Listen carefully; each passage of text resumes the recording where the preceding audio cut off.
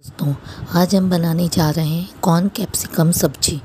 इसके मुख्य इंग्रेडिएंट हैं 100 ग्राम स्वीट कॉर्न छः से सात लहसुन की कलियाँ, दो मीडियम प्याज, दो बड़े टमाटर, दो मीडियम शिमला मिर्च, हाफ़ टी स्पून हल्दी, हाफ़ टी स्पून धनिया जीरा पाउडर, वन टीस्पून काश्मीरी लाल मिर्च, वन टीस्पून पाव भाजी मसाला, नमक स्वाद के अनुसार, one teaspoon oil, half teaspoon जीरा और धनिया पत्ते। सबसे पहले कॉर्न को कुकर में डालकर पाँच विसल बजाकर पका लें।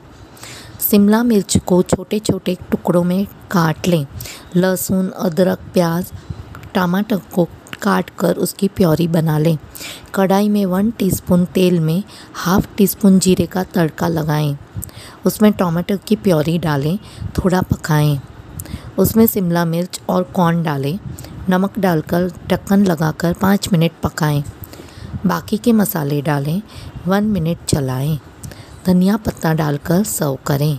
Healthy and tasty corn capsicum सब्ज़ी रेडी है, रोटी के साथ परोसने के लिए।